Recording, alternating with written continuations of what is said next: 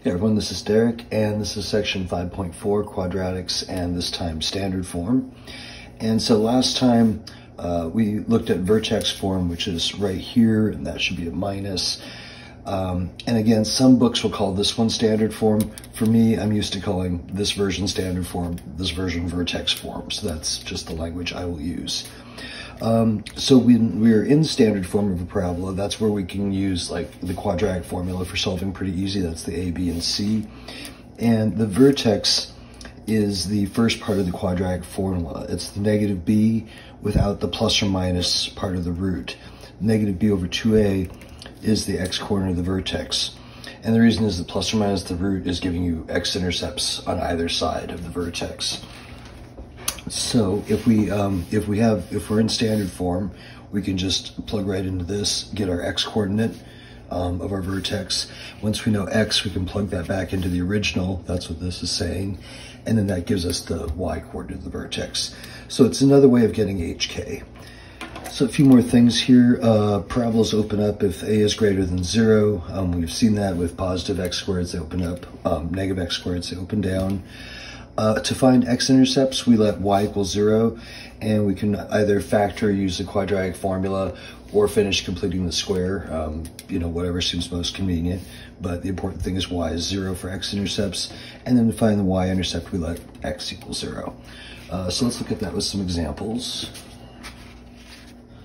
So I think I will show this one um, two ways. So first let me introduce this idea of x equals negative b over 2a as a way to get the, um, the vertex from standard form. So with this, x would be, uh, negative b would be negative 8 over 2 times 1.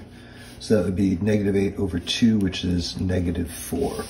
So that's the x-coordinate of the vertex. In other words, that is my, my h and my k that I'm finding, and I now know h is negative 4. And then to find k, I'll find f of negative 4. So we'll just plug this back in.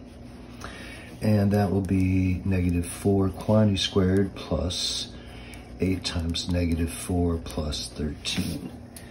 So cleaning that up, 16 minus 32 plus 13, 29 minus 32, I think that is negative 3. And so that would be my k, or my y coordinate of the vertex. And then here I can see there's the A is one, and so that's gonna hold true. Um, we know the shape, it's gonna be our over one up, one over one up three, because um, there's no stretch and there's no negative on it.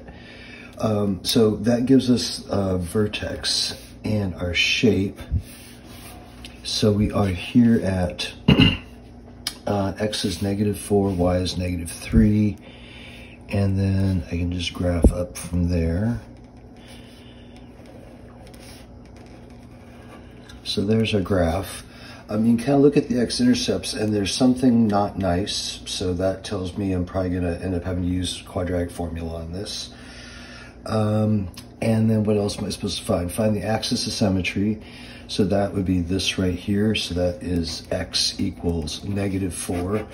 Again, x equals makes it an equation, not just a floating negative four. Unless of course the box has x equals in front of it, then you get to type the negative four. Uh, y-intercept, that one's easy. Let's do that first. That just means we find f of 0.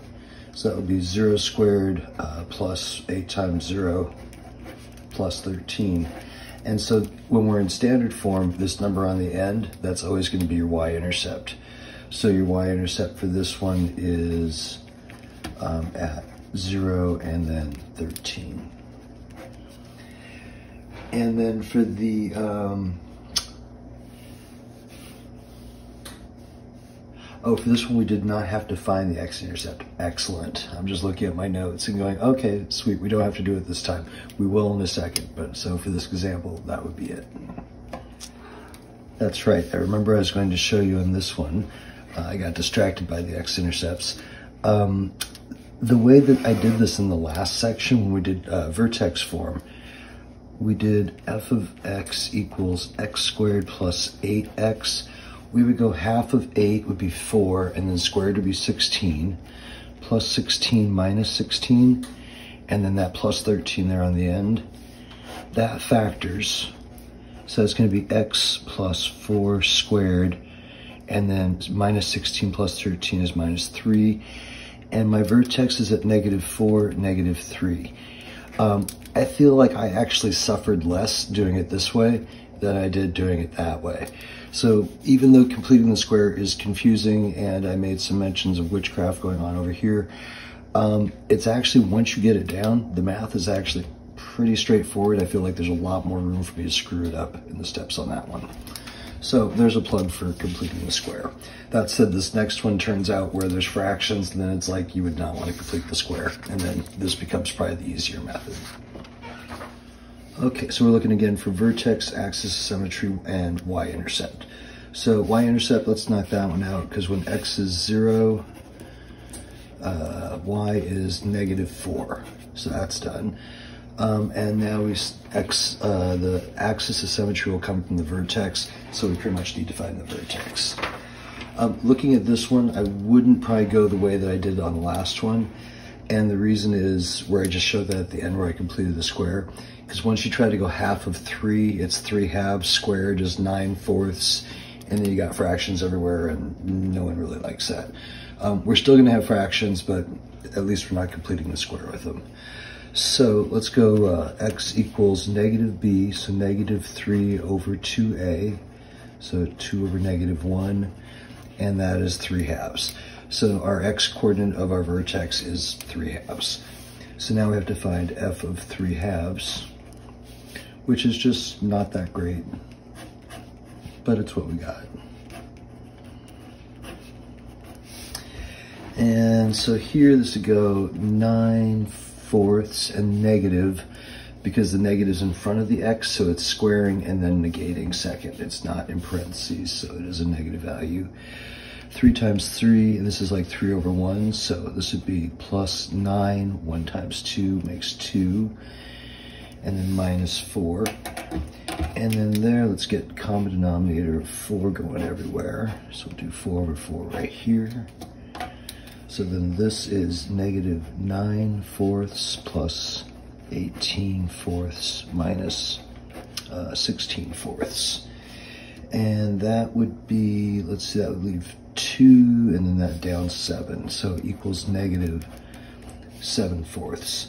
So vertex is going to be at um, 3 halves and negative 7 fourths.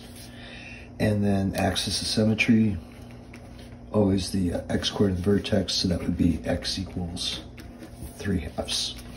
Okay, and then these are the problems where we have to find both the x and the y-intercepts. So here we're supposed to uh, sketch a graph of the quadratic um, give the vertex axis symmetry and intercepts. If there are no intercepts, and that can happen, right, if it's opening up above the axis or opening down below the axis, uh, then enter D and E. So we could do this, um, you know, we could do negative b over 2a. So we get x equals uh, negative b, so negative 4 over 2 times 1. So that makes negative 2. And then plug that back in, um, and we would get, let's see, f of negative 2 be negative 2 squared, and then plus 4 times negative 2. And this time it's squared because x is negative 2 and x itself is being squared. So that means negative 2 times negative 2 and minus 2. So that would be 4 minus 8 and then minus 2. So that is negative 6. So our vertex is at negative 2, negative 6. And again, I'll just flip right up here real quick. x squared plus 4x half of 4 is 2 squared makes 4 again. So plus 4 minus 4 minus 2. Factor this, x plus 2 squared minus 6. And again, that seemed easier to me than doing all this. I also hate kind of grinding through calculations, so I guess that would be my preference. Um, axis symmetry, that would be, oh, this time it does have the x equals on this particular problem, so there'd be a box there. That time you get to just type the negative 2 y-intercept, again, when x is 0, it's that value on the end, negative 2. And then x-intercepts and your answer uh, lowest to highest. So if I already have this vertex form right here, I can just say x plus 2 quantity squared minus 6 equals 0 because the square is like almost it's already completed. I'm just popping this 6 over. And then x plus 2 squared equals 6 root both sides and get x plus 2 equals plus or minus square root 6 and then bring the 2 over. So negative 2 plus or minus root 6 um, you could also from here plug it in the quadratic formula it will be more work than this and you'll have to reduce it and it will suck a little bit. Um, this was the easiest way to go, so I try to pick the easy version. That said, you're welcome to use quadratic if that is more comfortable for you. Um, so the way that this wants you to enter the answers, highest to lowest, is just gonna be like a big box and it's looking for ordered pair and the, the lowest one is gonna be the x is negative two minus root six in this case comma zero, because that would be your first x-intercept, and then um, negative two plus root six, that's your second x value, comma zero. So that answer entry is a little bit tricky. Think about if you had gotten, you know, one and five as your intercepts, you'd go one comma zero, five comma zero. That's all we're doing. It's just it has not very nice numbers. Um, and then I guess I should go back and graph. So negative 2, negative 6 is my vertex, and y-intercept's at negative 2. Um, so that would be one way to get that graphed. And I, I think on the computer, again, you just do the vertex and a point. Should end up looking about like that. Okay, so for this last one, um, this time there's a coefficient on there. It would actually factor pretty decent, but I think I will just do this one as x equals negative b over 2a. So negative 4 over 2 times 2 would be negative 4 over 4 or negative 1. And then f of negative 1, that's going to equal 2 negative 1 squared plus 4 negative 1 plus 5. So that will be uh, 2 minus 4 plus 5. 2 and 5 is 7 minus 4 um, or 3. So our vertex is going to be x is negative 1, our h and our k is 3. So x is negative 1, k is 3, is right there. Um, axis of symmetry, so x equals up has that, so that will be a box and negative 1. Uh, the y-intercept, if the x's are 0, the y-intercept is 5. So now we have that one, and that finishes off our graph. Um, that makes sense because this has a 2 in front, right? So we'd have a stretch, so it'd be over 1 up 2. So once we realize that, the x-intercepts, well, they're not, that's going to be D and E because there are none. Um, if you went to solve it, it would come up negative under the radical, telling you that um, th there weren't x-intercepts. Okay, and then there's a little bit more to this one. So then f of x is increasing on the intervals, so that would be from negative 1 to infinity. Decreasing on the intervals, that would be from negative infinity to negative 1.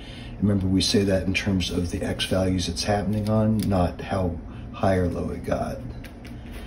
Um, it has a maximum value, so in this case, the maximum goes to infinity, so that's a DNE.